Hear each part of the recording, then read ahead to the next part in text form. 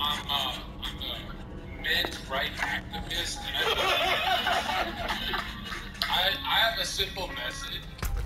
Men are better than women at literally everything. Literally everything. Nursing, if you get hit by a bullet, she can't pick my big ass up. She can't pick up anyone here. If she's, if she's a single mom, 80% chance the kid grows up to be a fucking school shooter.